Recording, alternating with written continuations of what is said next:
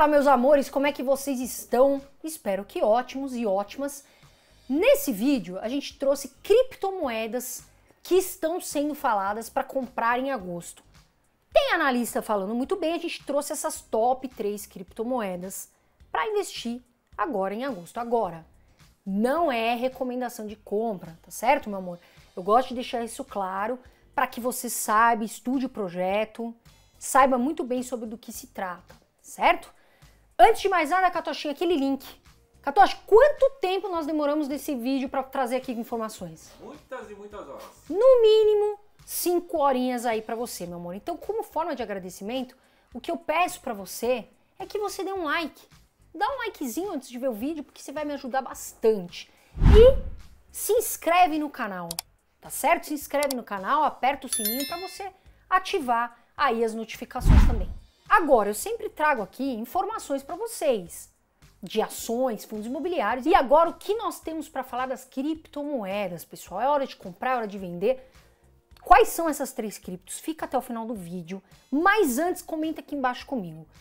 Você aí está comprando Bitcoin? Está vendendo? Está parado, parada? Comenta aqui embaixo comigo. Agora, pessoal, vamos lá. O primeiro passo que eu sempre falo vá com cuidado, tá certo? Vá com cuidado. Se você é iniciante, gente, não investe mais do que 5%.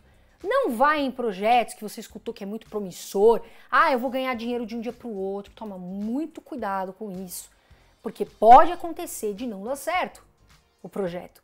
Então investe devagar. Eu mesma vou com muito cuidado em projetos novos. Né, Catochinho? Teve um dia que a gente falou aqui da Terra Luna, eu investi e não deu certo, mas tá tudo certo, né? Por quê? Porque eu sabia exatamente a gestão aí de risco da minha carteira. Então, esse é o primeiro ponto que eu quero te falar. Segundo ponto, Carol, você sempre fala isso e eu vou continuar falando até que eu esteja até a morte aqui.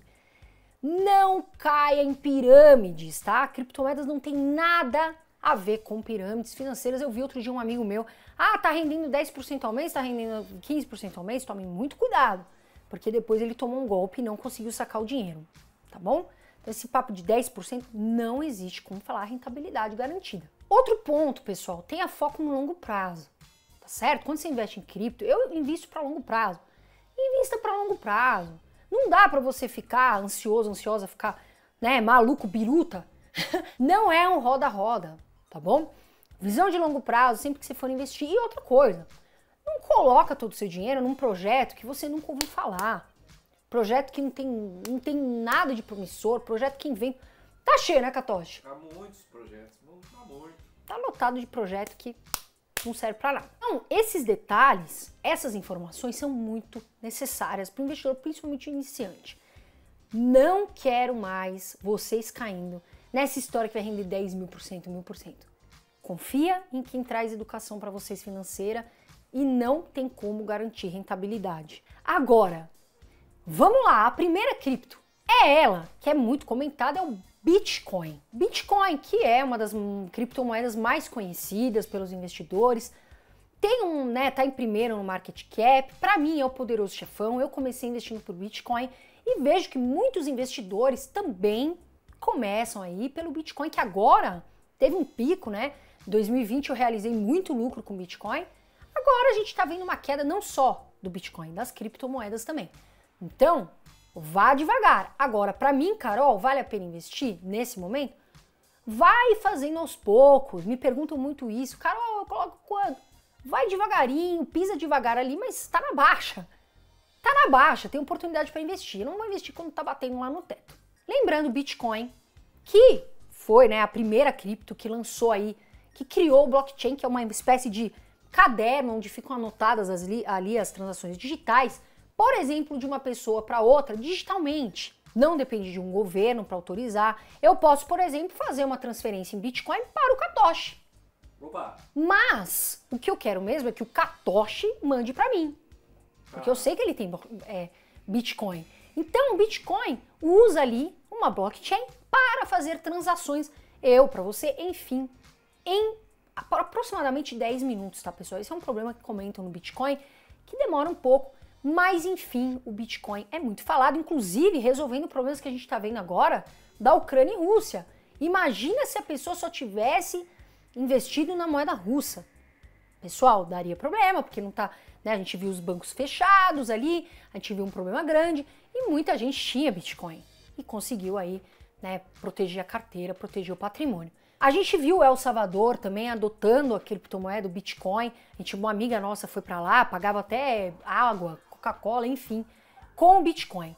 E também quem usa muito Bitcoin é a Nigéria, por exemplo. Nigéria é um país que usa muito Bitcoin. A tendência é que cresça, tá, gente? Olha lá, a Argentina, que inclusive está passando uma inflação muito difícil, utiliza Rússia e Ucrânia, como eu falei anteriormente, com esse problema da guerra, Turquia, Nigéria. Então, gente, tem países que estão adotando muito o Bitcoin. Como a gente sabe, a mineração da criptomoeda, do poderoso chefão, na minha visão, ela é limitada, né? Tem uma quantidade, isso faz com que tenha escassez. Então, quando né, tem um aumento aí, por exemplo, produção limitada, então aumenta o valor. Ela é também inalterável. Elas são conferidas ali através do blockchain por várias pessoas. Agora, o que, que torna muito lógico para a gente utilizar o Bitcoin e que aos poucos vem se provando, se prova mais que as outras como reserva de valor? Exatamente isso que a gente comentou, né? Não tem o governo não opina ali. O Bitcoin ele tem essa característica de fazer transações digitais, independentes do governo, né? Quando a inflação tá tá passando ali no governo, a gente sabe que as moedas, né, as nossas moedas fiduciárias se desvalorizam e o Bitcoin protegendo o valor. É o ativo hoje, criptomoeda mais, mais segura, que tem maior capitalização, sem dúvida nenhuma, e os investidores perguntam muito sobre o Bitcoin. Principal crítica que a gente vê falarem aí, porque as transações de Bitcoin demoram aproximadamente 10 minutos. Então, tem algumas críticas, mas é uma forma de você fazer transações, como eu falei, online descentralizadas.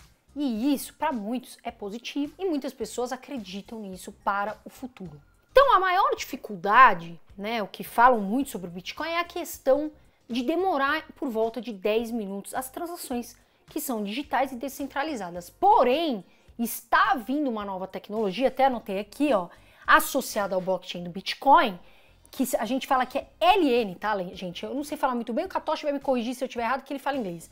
Lightning Network.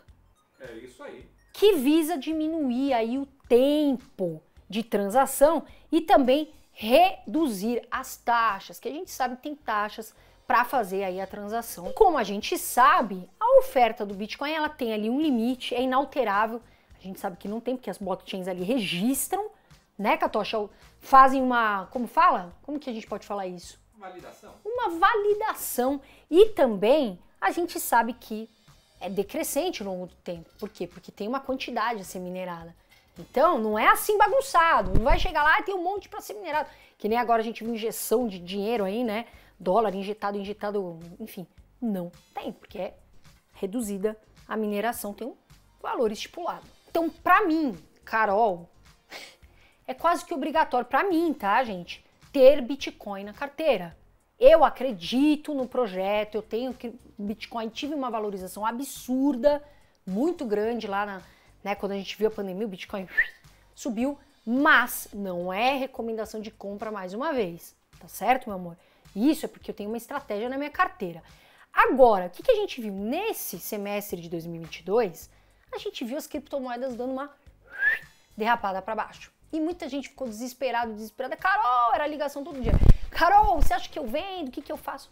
Mantenha calma. A gente sabe que é volátil, tá? Mas a visão sempre para longo prazo. Muita gente falou assim, ó, Bitcoin morreu. Toda semana eu escutava isso, Catoche. Bitcoin morreu, Bitcoin morreu, Bitcoin não sei o quê.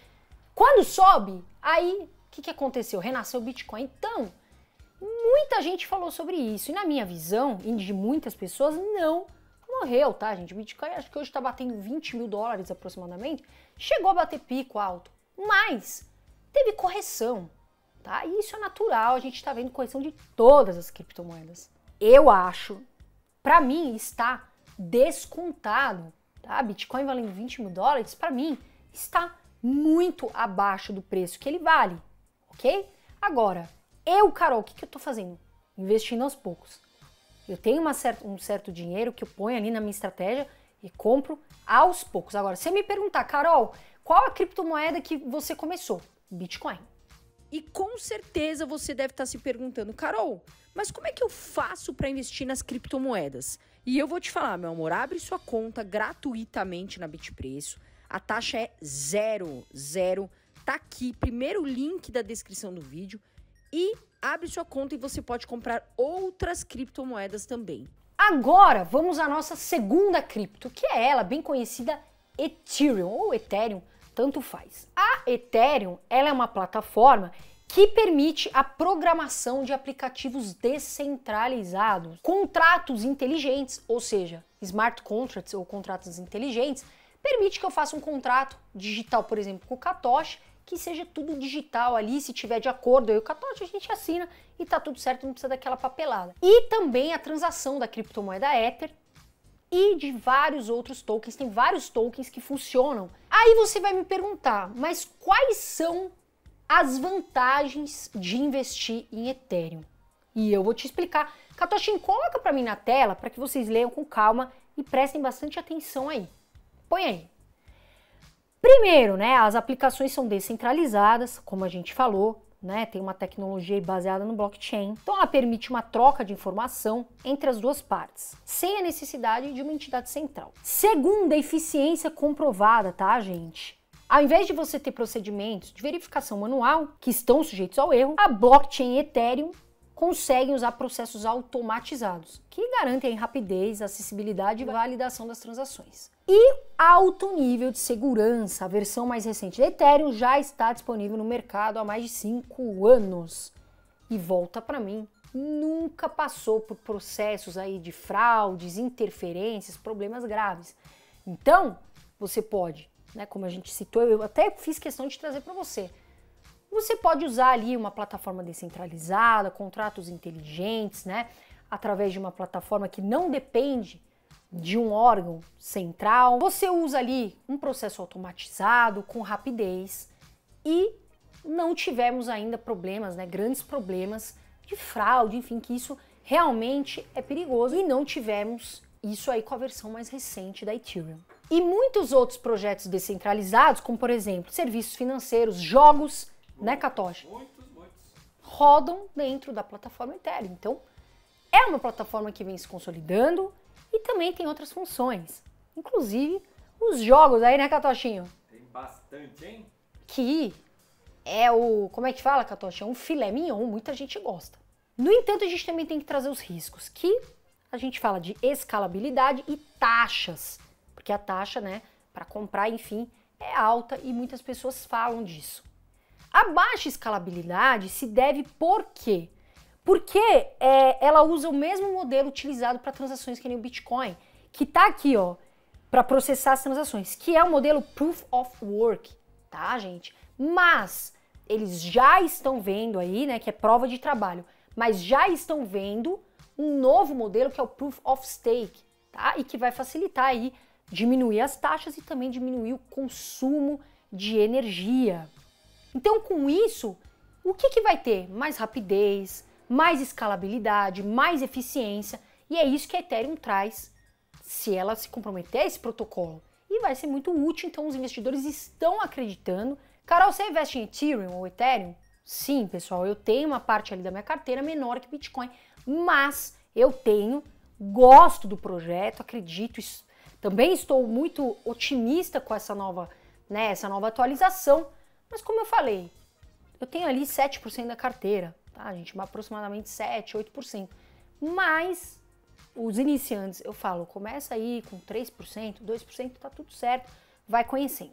E a terceira que a gente trouxe aqui é a Chainlink, que usa aí como token o Link. É um projeto mais difícil de entender. Então, Gatoshi, o que, que a gente trouxe aqui? Facilidade. Facilidade. Tudo mastigadinho, resumido, para você entender. Para você entender. Vamos lá, pessoal. O que, que, são. A gente vai explicar primeiro o que, que são oráculos, porque você vai entender porque a gente está falando disso. Oráculos, antigamente, eram pessoas que traziam respostas para tudo, sabiam todas as respostas, enfim. E os oráculos digitais que a gente tem hoje, quem que é? Yahoo, Google. Você coloca lá, Gatoshi. Sabe tudo. O Google sabe até nosso, nosso CPF, nosso CNPJ, então os oráculos digitais começaram aí pelo Google e também Yahoo. Enfim, a gente tem vários outros hoje falando, né, que conseguem trazer fatos que são exatos do mundo externo.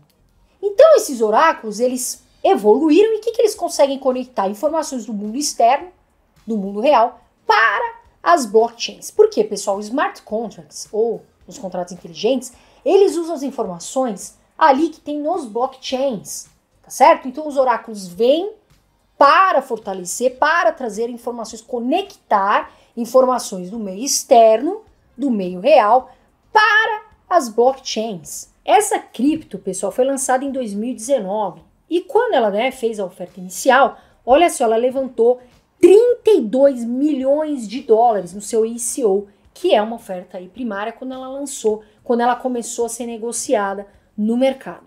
Então, Chainlink é uma rede descentralizada desses oráculos, certo? Que são capazes de trazer informações do meio externo para as blockchains, ou seja, esses oráculos facilitam aí as informações trocadas pelos smart contracts. Que é como eu falei, você pode né, ter um contrato, de repente, eu, Katoshi, online, faz, né, muito mais fácil, mais seguro, enfim, os blockchains conferem as informações desses oráculos e fica mais fácil. Agora, como é que você ganha com isso? Quanto mais né, você tem oráculos ali que trazem mais fatos, fatos que são verídicos, fatos que são bacanas, que são verdadeiros, você consegue ganhar link, que é um token. E você vai ganhando link e esse link tem valor. Agora, muito cuidado também, porque se esses oráculos trouxerem informações falsas, informações que não condizem com a, a aprovação das blockchains, você também é punido. E você não, né, você perde aí, você não ganha tantos links. Então, ela é considerada a internet das blockchains. Por quê? é o Google, entre aspas, das, das criptomoedas, porque ela consegue consultar, verificar e conectar informações de várias blockchains. Então, entre aspas, ela é uma ponte, tá certo? Do mundo real com as várias blockchains. Ela traz ali, né, as informações do mundo real para os smart contracts. Carol, mas como assim? Me dá um exemplo. Vamos supor aqui que você vai alugar um carro, tá certo? O que que acontece? Essa plataforma não é uma blockchain, é um oráculo, né? Oráculos ali, uma rede de oráculos descentralizados. É uma ponte que traz informações do meio externo, né, do meio real, do mundo real, para as blockchains. Então, por exemplo, cara, eu vou alugar um carro. O que, que acontece? Esse oráculo, ele consegue pegar todas as informações do carro, até Renavan, viu, gente? Renavan. Enfim, você consegue, ele consegue identificar quem é a pessoa que está alugando o carro. Então, você chega lá, tudo online. Você consegue saber modelo, veículo, enfim. Isso é muito bom, por exemplo, para nós e para as empresas que alugam carros. Uma das funções importantes também, tá certo? Ela traz mais segurança, porque ela é uma espécie de um cofrinho ali, Catoche, que é travado. E só consegue destravar quem tem a chave. Não é todo mundo que vai lá e abre, não, é só quem tem a chave. Então o que, que acontece? Isso protege as pessoas que estão de fora investindo. Por quê? Porque elas têm essa certeza de que não vai ter, de repente, um hacker que vai entrar lá e pegar né, o valor, enfim, roubar as informações. Então o que acontece? Esses oráculos, eles se conectam entre si, né, descentralizadamente, e trazem informações do mundo real, do mundo externo, para as blockchains. Isso o que, que acontece? Por que, que facilita também? 80% dos smart contracts, nossa, eu não aguento mais falar essa palavra, smart contracts, contratos inteligentes, eles têm informações só das blockchains. E é difícil as blockchains se conectarem. Então, essa plataforma trouxe o que? Acessibilidade ao, às informações do mundo externo. E isso é muito positivo, porque do mesmo jeito que ela consegue, esse oráculo consegue trazer informação do mundo externo para as blockchains, ela também consegue trazer informações da blockchain para o mundo externo. Que foi esse caso que a gente citou do carro. Traz informações ali, né? Como é o carro, enfim, modelo, para quem que é, mas depois também consegue transferir para né, a empresa de carro que aluga, saber as informações. Outro exemplo, tem fazendeiros que precisam saber né, as condições climáticas para fazer um plantio, para fazer um seguro ali da terra. Detalhe, até isso esses oráculos trazem as informações climáticas de alguns lugares aí para os fazendeiros, por exemplo, saberem melhores informações do terreno. Então a Chainlink é a maior provedora de oráculos descentralizados. Agora eu trouxe aqui para vocês, eu vi aqui no, num site Investidor 10, está aqui Pessoal, hoje, tá? Chainlink 7,99 dólares, que em reais é R$ 41,28 aproximadamente. Agora, já teve uma queda sim, cotação em dólares. A gente vê que teve um pico, tá? Aqui no gráfico que tá aí para vocês, olha lá. Teve um pico de 34,74 dólares ali em 2021. Agora hoje ela caiu bem, a gente tem que mostrar isso aqui para vocês. Mais ou menos aí na data de hoje, valendo 7,97 dólares. Então teve uma queda, a gente mostra aqui a cotação também em dólares. E quem é o CEO da Chainlink? Olha o nome dele aqui. Sergey Nazarov. Ele que criou tudo isso. Gente, mas a, o Katoshi, ele, o pessoal é muito jovem que cria essas coisas, o pessoal entende de, de computador, né? É, esses aí são crânios. São crânios, praticamente. Segundo o senhor, vai ter uma implementação, gente, de do formato de stake. E isso aí vai ter dois objetivos principais. O primeiro, maior segurança da rede, tá, gente? Com os validadores deixando seus tokens como garantia para as informações prestadas. Isso traz maior segurança. Pô, vou ter que deixar uma garantia ali. Então isso vai trazer o que? Mais atratividade para os validadores desse, né, dessa rede, desse, desse projeto. Isso, pessoal, tende a diminuir a concentração aí dos tokens, tá? Na mão dos validadores principais. Agora, esse vídeo a gente trouxe baseado na Nord Research, que é uma casa de análise, traz relatórios completos para que vocês entendam descomplicados que é o principal para quem está começando. Então a gente trouxe aqui um relatório, a gente se baseou nesse relatório. Vamos deixar aqui, tá, Catochinho? Que é, ó, é gratuito. Vai lá, clica. Pô, quero saber mais. Vai lá. Os analistas da Nord, que é uma casa exemplar, trouxeram ali um relatório falando dessas três criptos. Então, para você que quer saber mais sobre essas criptomoedas para investir agora, saber mais detalhes, entender o projeto, atenção, aqui abre o olho e investir devagar, está aí clica no link. Tem o, o, o relatório gratuito para vocês da Node. Então é isso, meu amor. Nós estamos aqui para trazer informação para você. Obrigada por você estar tá aqui. Esse canal é para você. Obrigada por confiar no meu trabalho. Qualquer dúvida, comenta aqui que a gente vai vir e responder. Certo, meu menino? Certo. Por hoje é só? Por hoje é só. Vamos ficar de olho nessas criptomoedas. E você aí, me conte, você está comprando Bitcoin, está vendendo? Eu perguntei lá no começo. Compartilhe aqui comigo o que, que você está fazendo. Tá comprando, tá vendendo ou tá parado, parada, relax, esperando? Certo? Quero saber sua resposta. Grande beijo de luz. Eu sempre vou falar tudo de verde hoje. Voa Brasil! Fiquem com Deus e até o próximo vídeo.